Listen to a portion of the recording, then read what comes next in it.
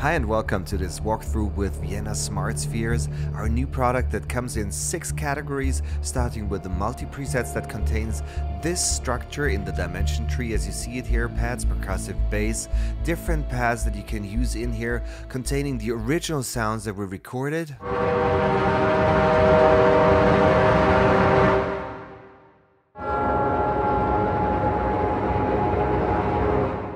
and that you can always modify by using the modulation wheel. So this is a simple, this is really a simple product. With very instant results with the modulation wheel always working and um, blending between different symphonic sounds that are the basis for everything that's coming after this. Uh, let's just check out High Anxiety, for example. It's a mix of all the different samples that we had and um, now merged together to find something new uh, for you to play with.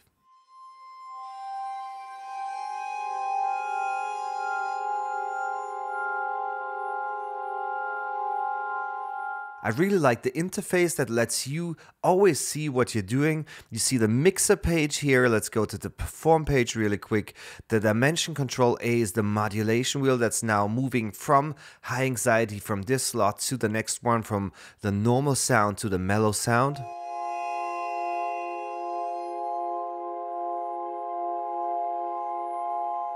And back and you have master volume expression, velocity crossfade, you can change the dynamic range. All these factors can be used, but mainly you're sticking to the modulation wheel CC1. be it percussive sounds, let's just go through those. Uh, whenever you see these different colors on the keyboard, that's key switches. You have those mallet strings.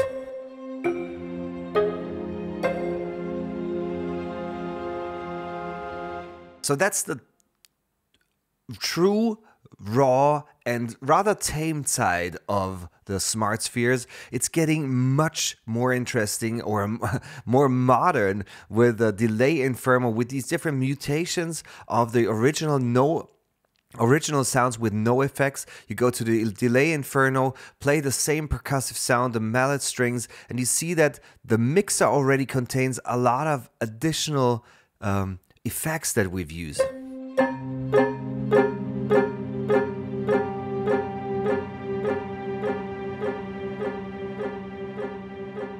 Trying that same thing with uh, a pad like, uh, let's go for the tremolo pad.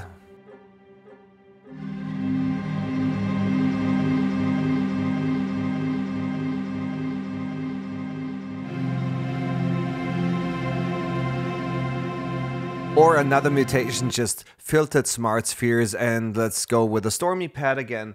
CC1, as you can see in the um, uh, preset description below, I'm controlling the CC1 controls stormy pad and distorted this dimension, the variation of the sound, and CC3 controls the volume of the FX fader. So you can see that here in the aux that I'm sending um, the signal to the first aux channel, here the FX filter.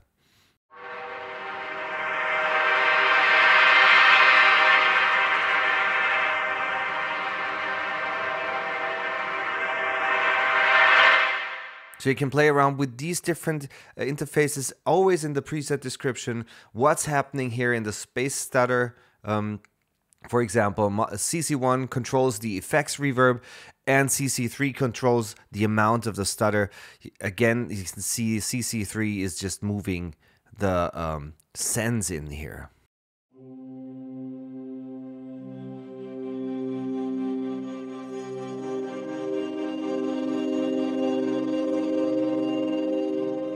So this will have an effect on anything that you choose from, be it pads, percussive or bass sounds. And you can just go in and work with those different articulations, bass, distorted bass, in the mutation space stutter. Let's see what that does.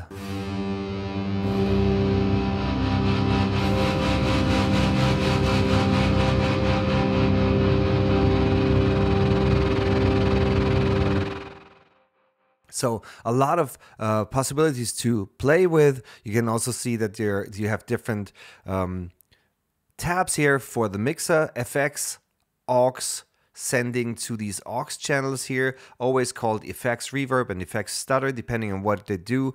And the basic page that also provides you with an EQ that you can use anytime here and just in any way you'd like to change the sound and just access different sonic possibilities in on the mixer page.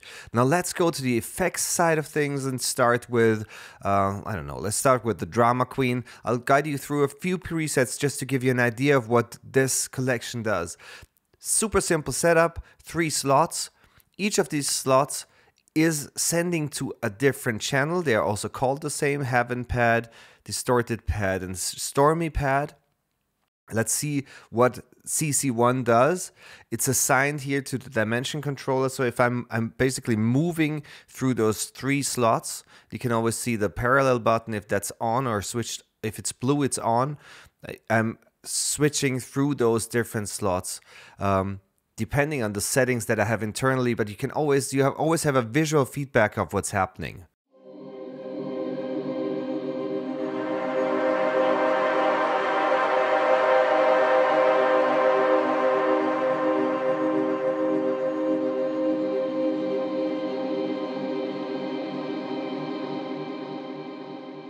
So this one would be a simple one. You can also see the volume as it goes through the different slots. I see that I have an EQ assigned to the heaven pad. Maybe I want to have a little bit of a lower sound in there. You also see the range that's used for each preset. If you want to extend that range, you can switch on the range handles here and just change the range of each cell separately if you like, always depending on what you want to do. Um, now that's the basic page. I have an aux page here as well and an effects page. And I can see that I can, of course, also go through the different um, to the, through the different sounds and slots one by one. And just switch on the distorted pad, see what that does. And change the settings in there if I like. Um, always depending on where I want to go sonically. The simplest way to do sound design here is just to switch off an effect, just to see what's happening. Alright, so the auto gain here is pretty cool. The new auto gain effect, for example, just modifies the stereo uh, signal left and right in different ways. So this is now a sine wave. If I change that to, let's say, the ramp down, change the amount and maybe sync it to my sequencer or in eighths.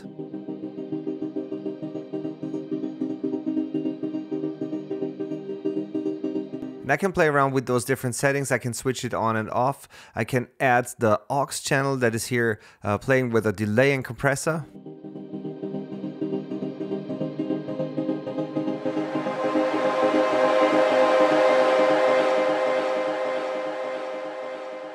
Right? And I'm still playing just with one preset. Uh, let's go to something else and check out Waking Giants, for example. Now, this is something else because now I'm actually using. Uh, I, it, the parallel button is still on, but all these slots are, are stacked now, and I can playing all of these slots at once. You see the low ramps, high, uh, mid ramps, and high ramps down here in the mixer, and then effects um, send, and I have a limited range here, just two octaves, indicates to me that I should play lower sounds.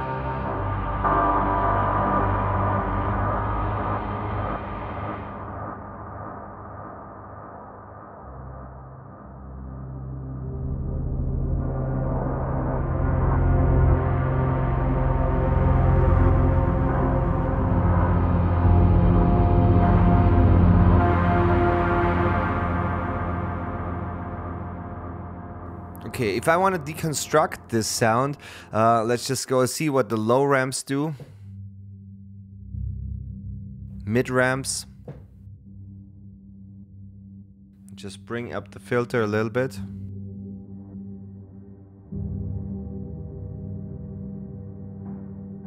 And the high ramps.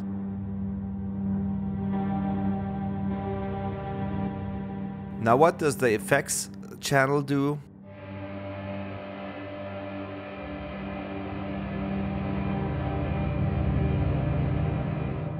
And if you're not sure what CC1 does, either look at the perform page and see what CC1 does. In this case, it's the filter, and the preset information also shows you, okay, mod wheel CC1. Simply adjust the filter setting in here. Um, now let's bring in distortion additionally and just see how you can, uh, how you like that sound.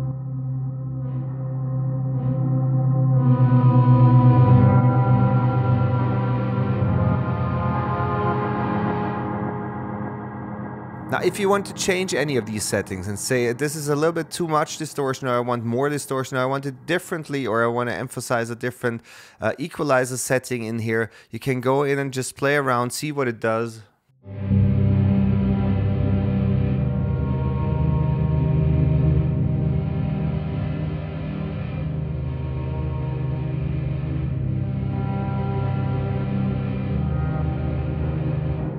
Best way to find out what a setting does is just to switch it on and off, the effect.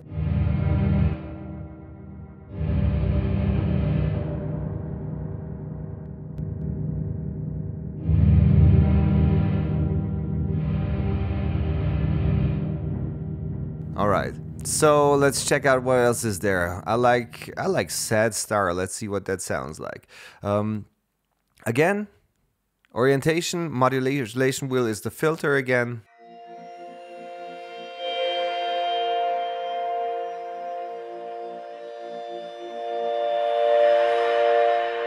simple, nice pad. Uh, I know that 2049 is a pretty cool one. You're switching between 20 and 49. And also, uh, yeah, so you're slot crossfading for those two uh, slots that contain different uh, instruments in the different slots, in the different child slots.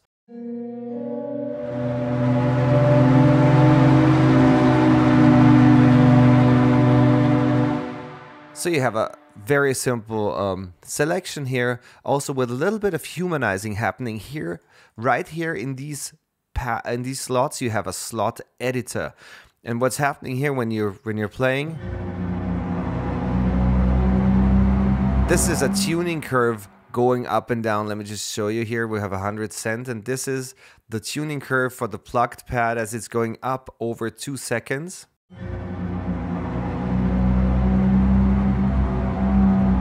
The mallets will have a little tuning after two that sets in after two seconds.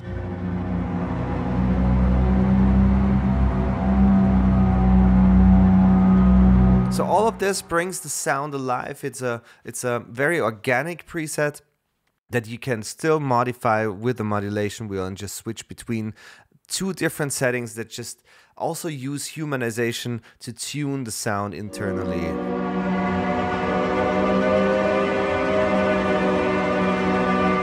You can always alter everything you hear, and whatever you can think sonically, you can also um, work out with the mixer internally. If you've ever worked with a mixer, let's just check out the bases.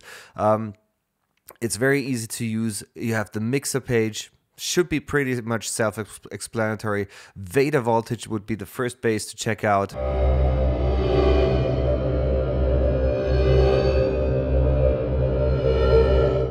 Again, check what modulation wheel does. Uh, it affects the tuning on the return uh, channel of the effects, and CC3 is the send to. So CC3 here sends to the second reverb channel that we have here. Oh, wrong range. Go a little bit lower.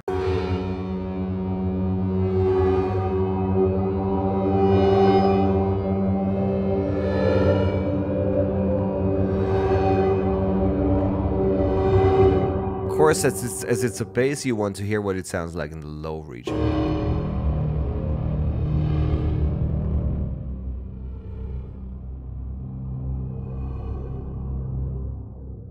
And maybe do the same thing, just check out what Malicious Thoughts sounds like, bass and effects. I know that uh, in this case, CC1 affects the volume of the bass,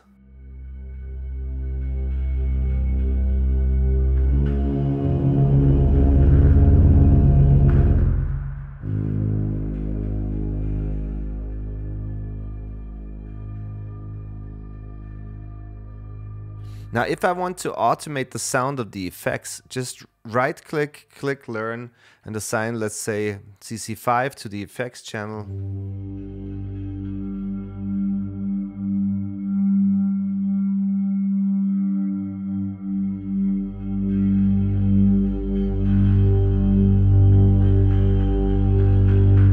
and you're already playing with a quite um, big arsenal of uh, sound parameters that you can use.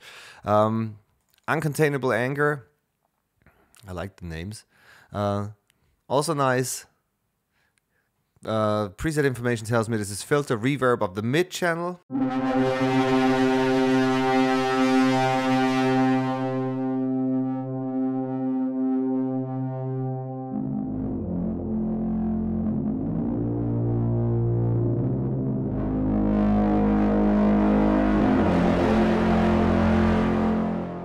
Let's say you had the impression that this is a little bit too much of uh, distortion there. And I have a lot of saturators in there. Uh, this is not so much drive. Let's check out what this one does. Let's just switch the saturators off.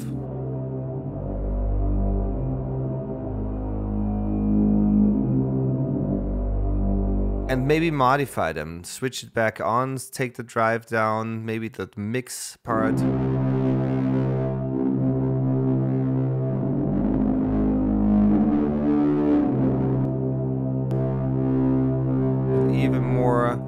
Let's see what the high saturated does here.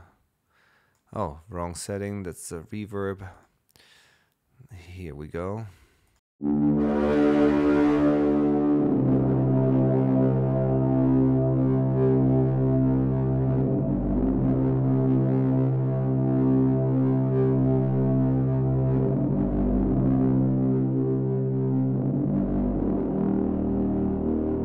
Or maybe just find the right balance for the sound you're looking for.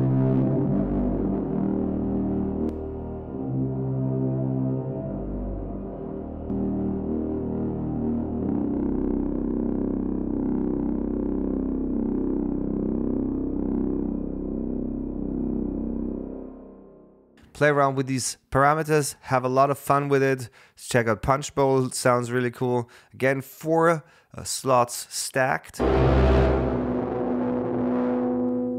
Right, something's going on there.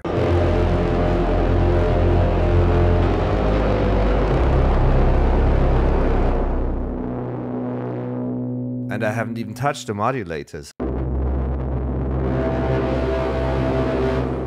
So you can add some screaming there with the mod wheel.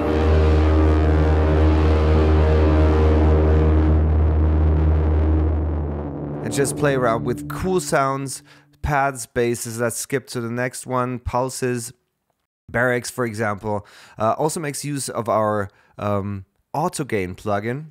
Let's just check it out quick. Uh, range.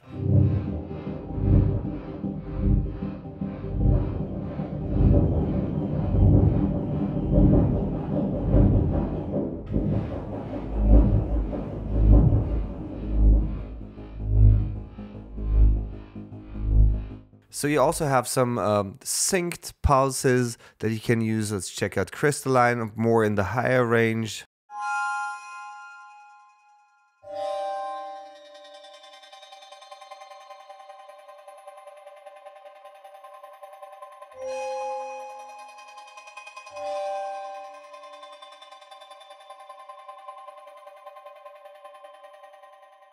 Um, let's check out Heavenly Stutter just to go through a few.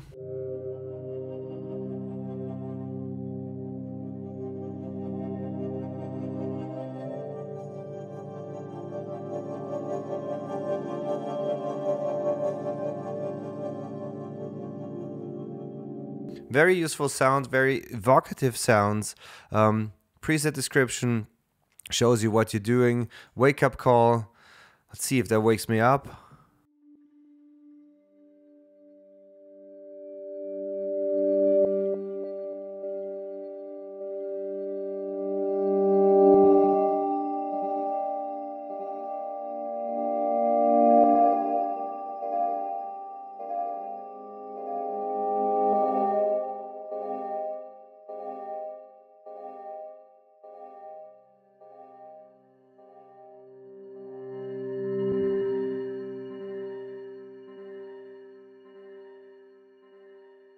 Or um, Plugquincer. Sounds good. So, oh, wow. I have different rhythms here. I like this one. Um, you can switch through the different available rhythms with key switches.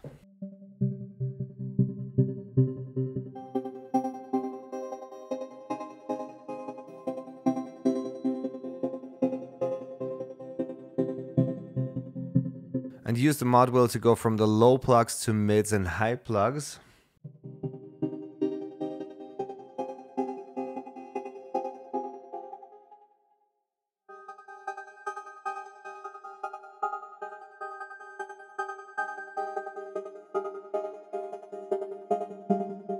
And if I want to change anything there, I can switch through different rhythms.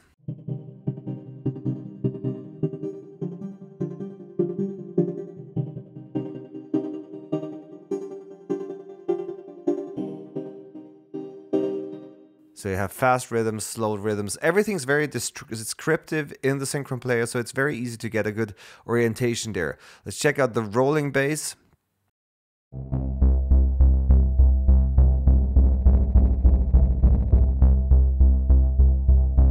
It's a bass, let's go deep.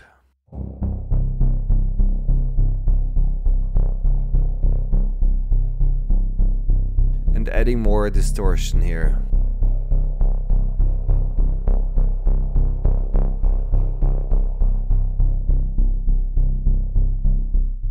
super nice to use. You already know where you're going to use this. Um, let's check out the plugs here. Let's check out what does inner child sound like. Sounds like it sounds soothing.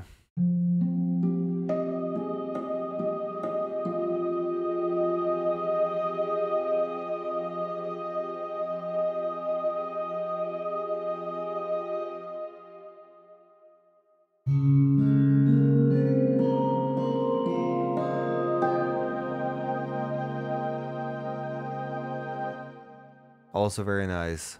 Tibet. Just play with this one sound.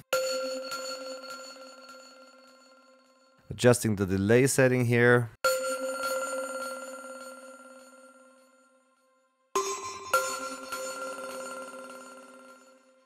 And you can add more control, more parameters as you like. Um, check out MA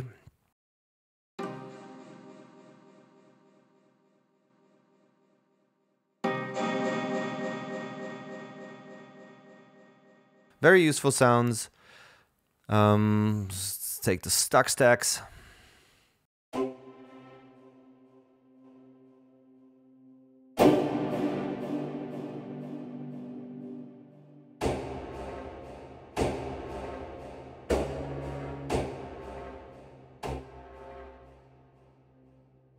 playing around with these different options and last but not least the leads so you have those six categories. It's really about inspiration. It's really about getting to know the Synchron player as the monster that it is on a sonic level. Uh, let's check out Alpha Centauri.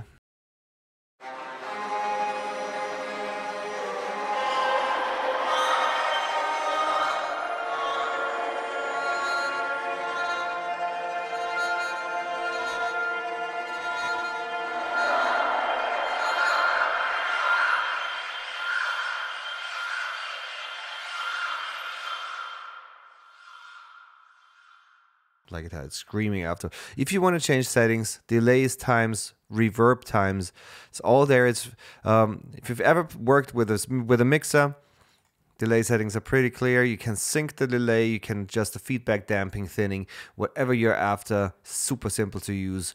Uh, find the last neon lead.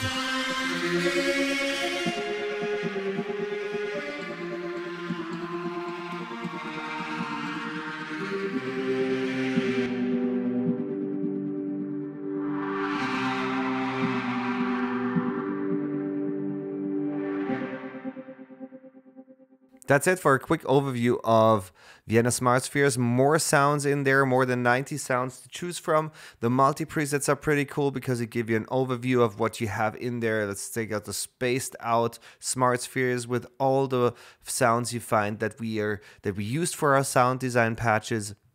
Like um, what haven't we played? High Anxiety,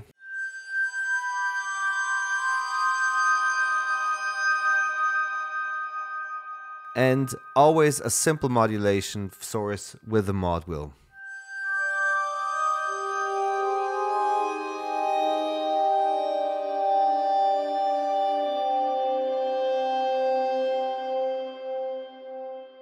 Thanks for your attention.